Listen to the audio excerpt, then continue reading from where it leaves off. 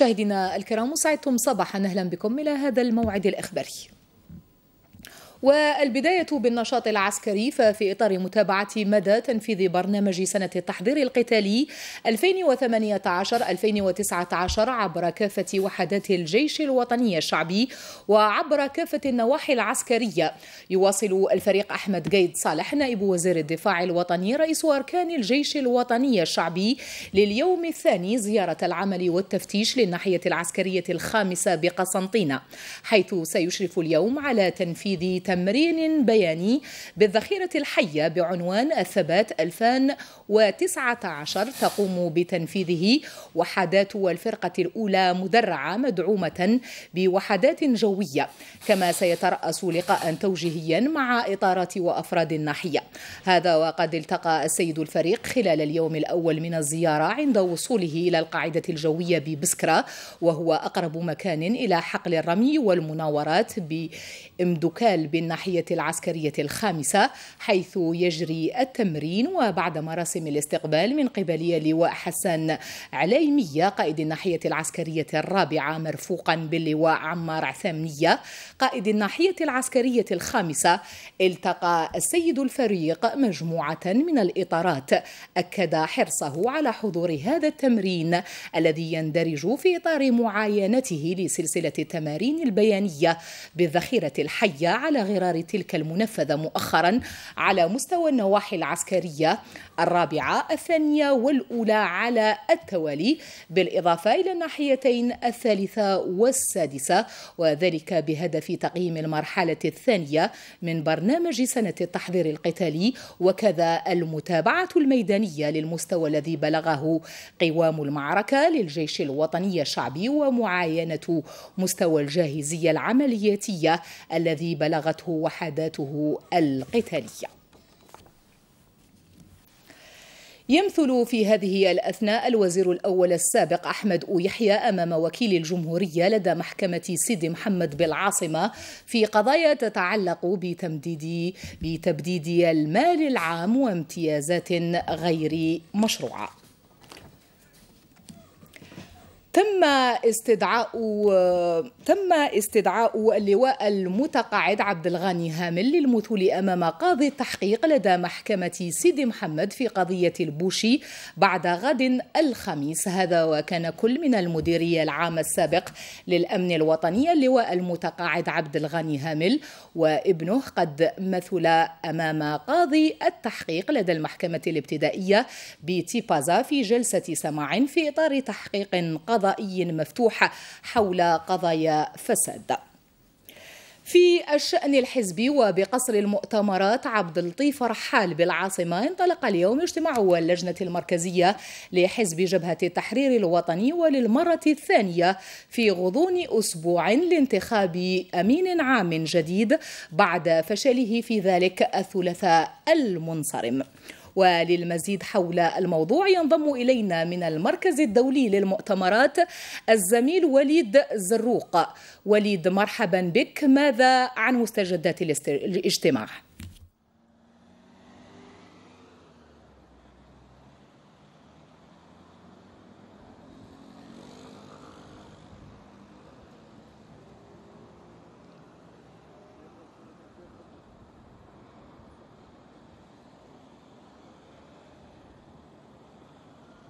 إذا تستأنف الدورة الاستثنائية للجنة المركزية لحزب جبهة التحرير الوطني أشغالها في جلسة مغلقة. لم تفتح أبوابها للصحافة.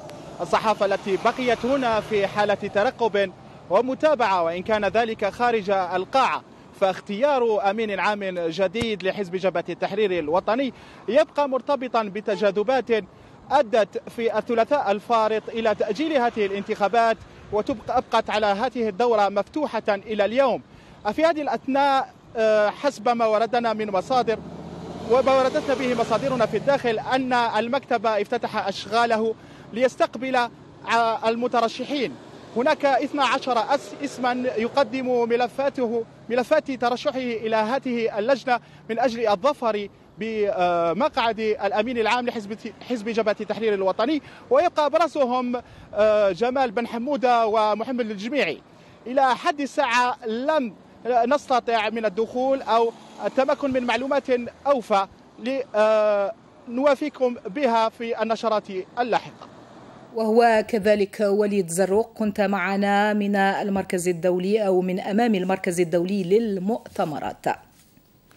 في قطاع السكن تعرف ولاية سعيدة حركية متسارعة في إنجاز السكنات حيث تم توزيع 160 وحدة سكنية من صيغة الاجتماعي على مستحقيها كمرحلة أولى من إجمالي 870 وحدة ستسلم تزامنا والشهر الفضيل. مراد مزوهر يتصدر ملف السكن أولويات التنمية المحلية بولاية سعيدة.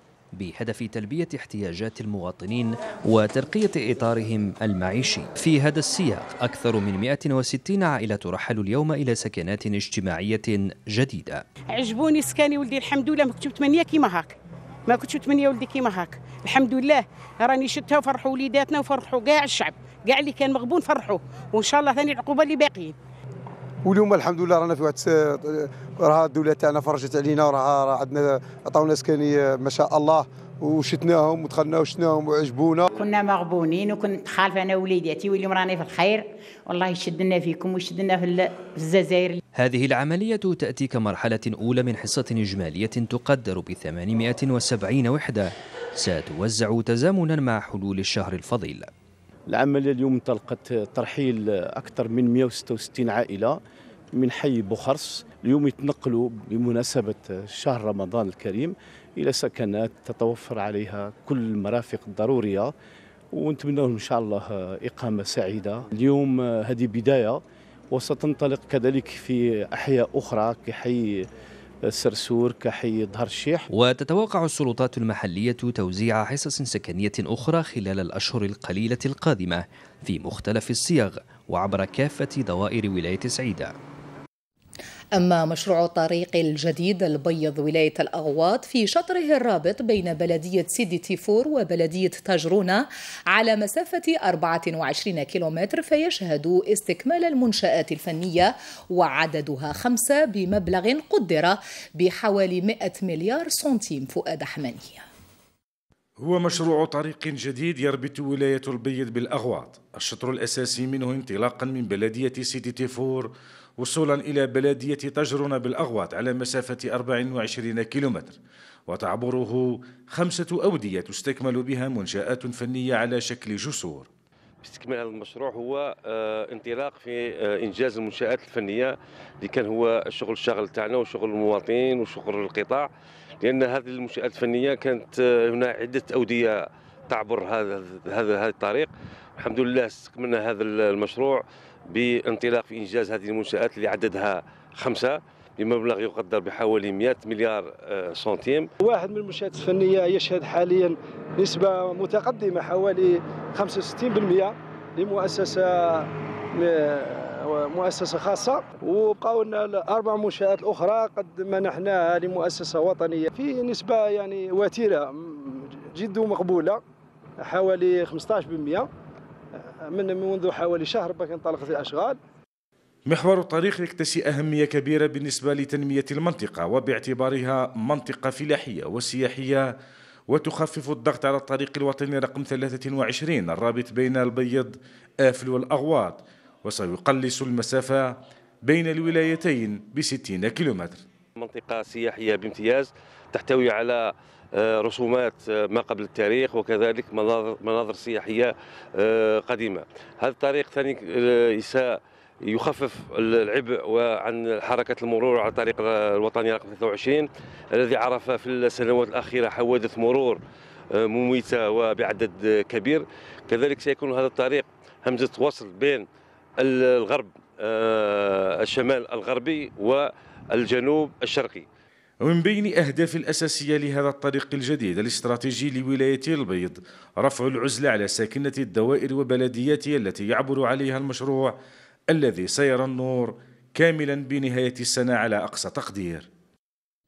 طائفة من الأخبار الدولية ونستهلها بالشأن الصحراوي حيث أرجأ أمس مجلس الأمن الدولي أرجأ التصويت على لائحة تقضي بتمديد عهدة بعثة الأمم المتحدة لتنظيم الاستفتاء بالصحراء الغربية المينورسو إرجائها إلى اليوم وهذا لفحص التحفظات التي أبداها بعض الأعضاء حول النص والتعديلات التي اقترحوها وهي تخضع حاليا للدراسة من قبل الوفد الأمريكي الذي يأمل في التوصل إلى تصديق توافقي على اللائحة التي لا تراعي العديد من الملاحظات الواردة في تقرير الأمين العام خاصة المتعلقة بحقوق الإنسان والانتهاكات الخطيرة لوقف إطلاق النار من جانب المغرب.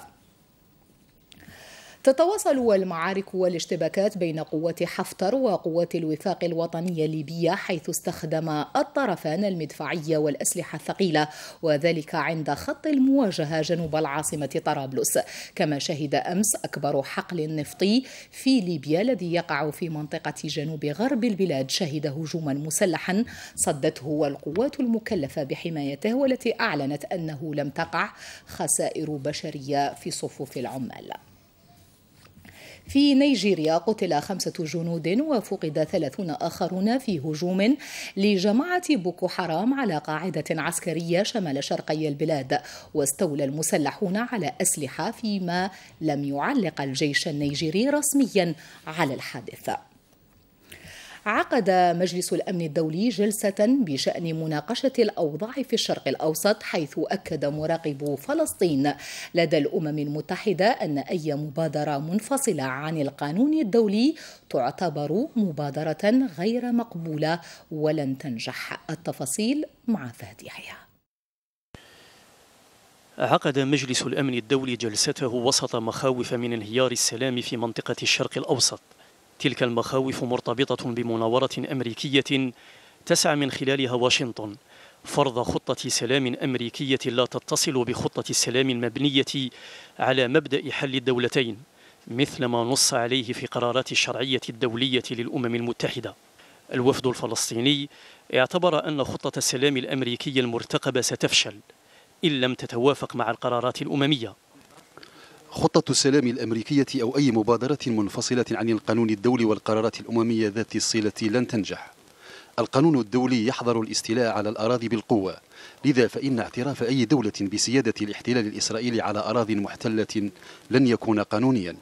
السلطة الفلسطينية من جانبها وفي بيان لها أصدرته لمجلس الأمن طالبت فيه بترجمة القرارات الدولية إلى إجراءات عملية ملزمة للاحتلال الإسرائيلي والمستوطنين.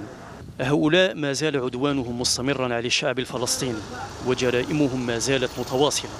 ثلاثة فلسطينيين أصيبوا بجروح بعد اعتداءات مستوطنين عليهم في جبل الريسان غرب رام الله بالضفة الغربية المحتلة.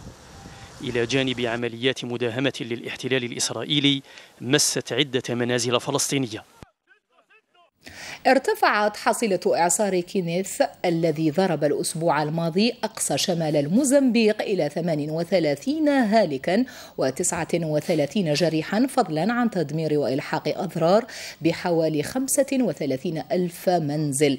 هذا ومنح صندوق الأمم المتحدة المركزي لمواجهة الطوارئ مبلغ 13 مليون دولار لتوفير الغذاء والمأوى والخدمات الصحية للمتضررين.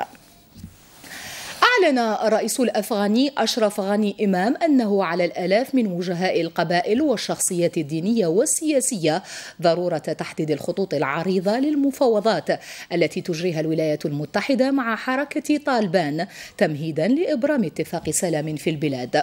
ويعد اجتماع لويا جيرغا تقليدا أفغانيا قديم يعقد في الأزمة الوطنية أو لتسوية الملفات والمشاكل الكبيرة في البلاد.